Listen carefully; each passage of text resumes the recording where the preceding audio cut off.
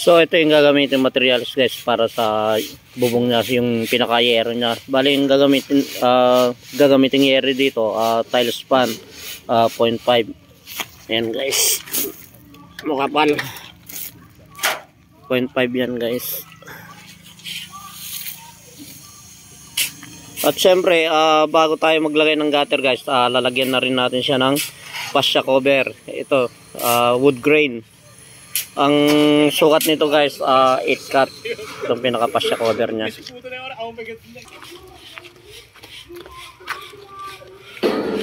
At siyempre guys, ito yung gagamitin natin pinaka-gutter. Bali yung gutter niya, uh, Spanish gutter. Uh, stainless siya, 0.5, 3 o 4. Mirror, ayan guys, uh, may balot pa. Yan. May balot pa siya guys.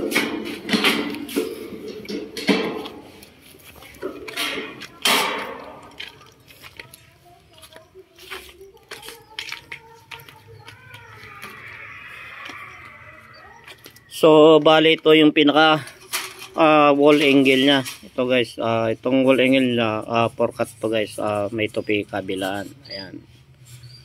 So, bali lahat yan guys, uh, ayan, ang fascia cover at yung wall angle. Yan yung mga gamitin natin para sa span rin. At syempre guys, ito yung span drill niya. Ayan.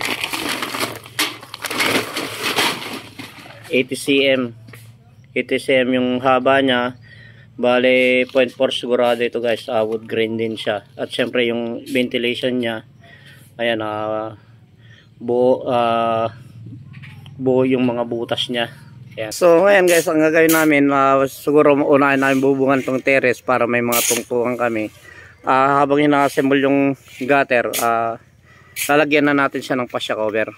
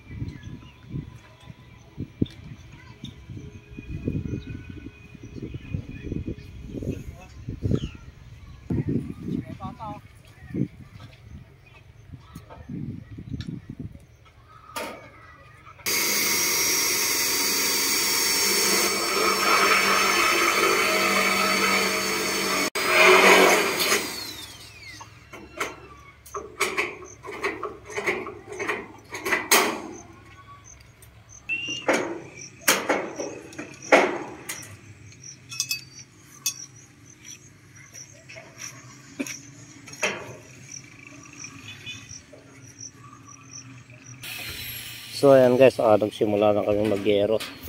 So ang ginawa namin dito, uh, sinilip na lang guys yung sa may gutter, yung laos ng gutter. Kasi yung itong gilid nito guys, uh, hindi rin naman siya diretso. So sinilip na lang yan. So may ang paglalagay kasi ng yero guys ng uh, tile span, uh, may babanggaan to guys, ayan o. Oh. Ayan siya. Hindi tulad ng zip type. Madali lang siyang ilagay hindi, kaya itong tiles pan guys uh, kailangan uh, eskwalado yung uh, yung bubong. O kaya yung yero nyo may pasobra ng konti. Kasi kapag hindi siya eskwalado kaya sakto-sakto yung yero nyo. Tulad yan guys uh, kasi may babanggaan to hindi tulad nung uh, rib type. Pwede siyang ipatras pwede siyang pasulong. So ito pag bumangga siya dyan, wala na, hindi na siya ma-adjust. So, medyo mas mahirap ibubong to guys kaysa sa rip type. So, ayan ah, nakailang air. Tuloy-tuloy lang yun. paglagay namin ng yero.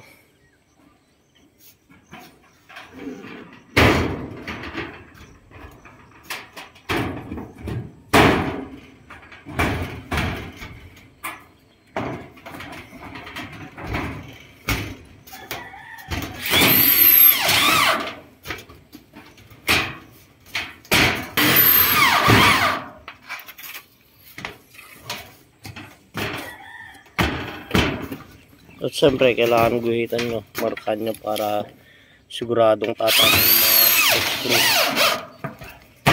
Kabarbarato. Kay Tolpel. Lokal yung tugo niya guys.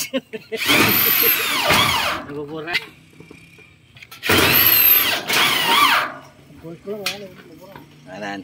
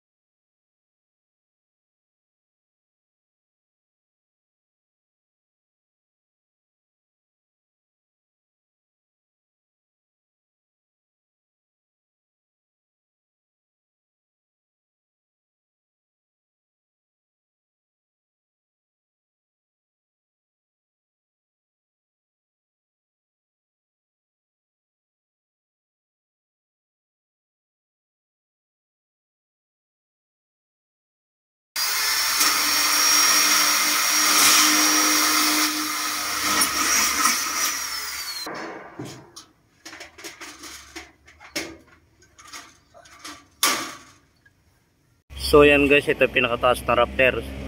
So bali bumabag ito guys, so papaspasan na lang natin yung pag-video. So bali tiles pan yung yero natin guys, 0.5. At yung uh, gutter niya at lasing uh, stainless 304.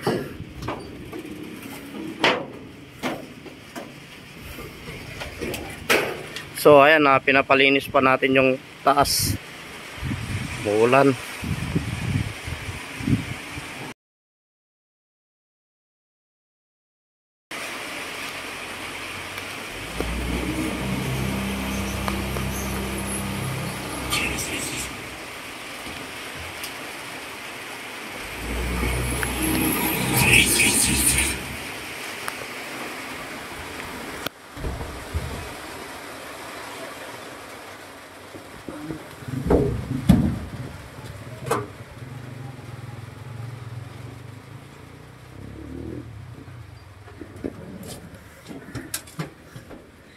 So bali ang gutter nut natin, flashing natin guys, ah 24 cut.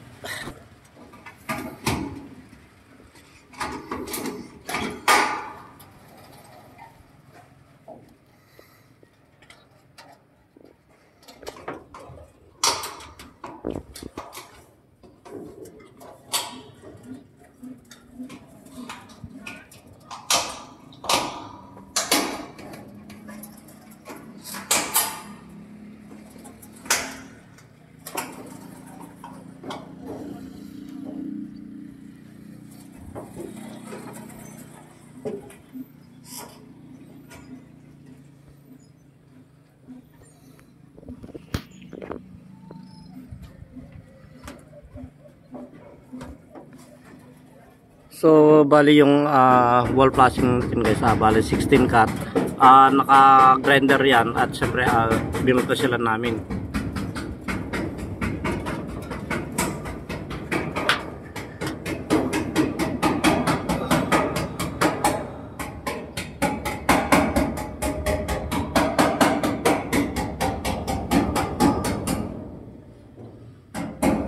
So, ayan na, kasalukuyan ko na.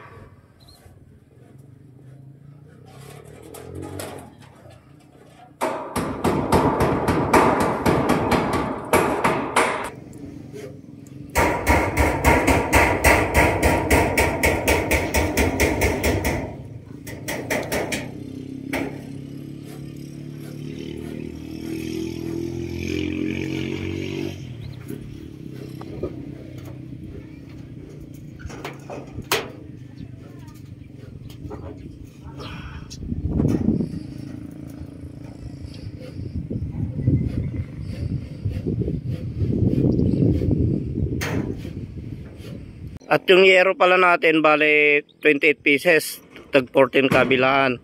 At dito sa may terrace, ah, 11 pieces. At yung flashing natin, bale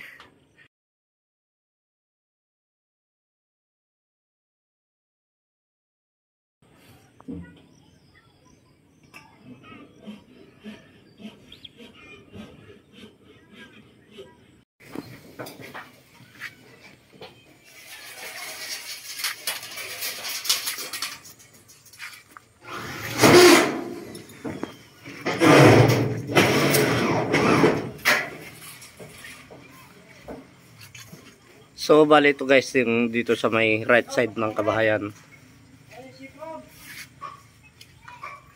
Sa cover.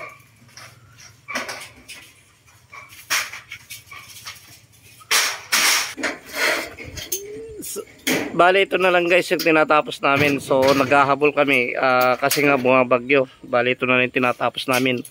Ah, medyo nahirapan kami dahil sa medyo may katasan yung andamyo guys sa pagkakabit ng andamyo.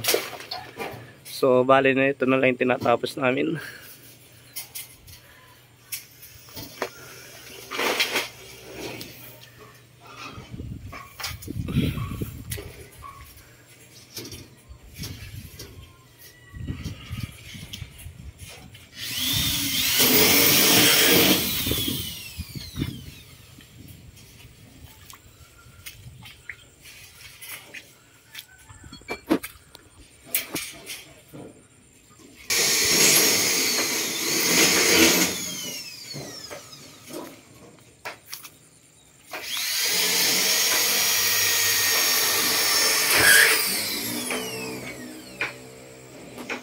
At ah, nilagay na rin pala namin guys yung abang ng mga pinlight.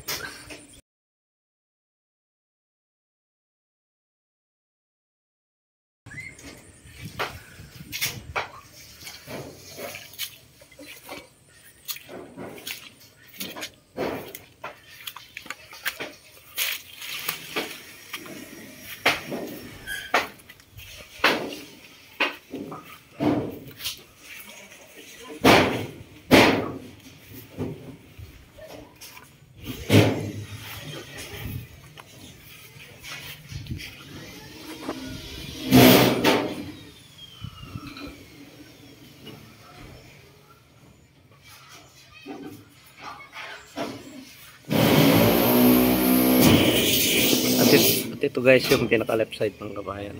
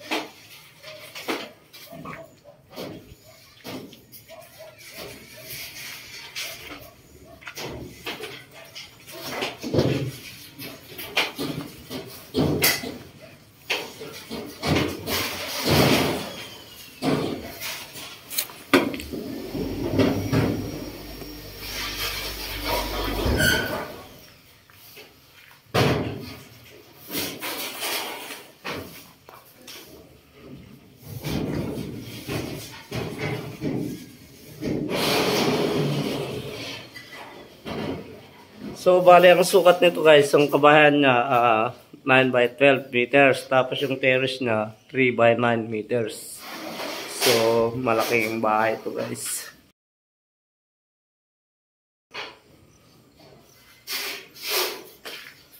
At syempre, ah, yun, yan guys yung pinakasiyad na.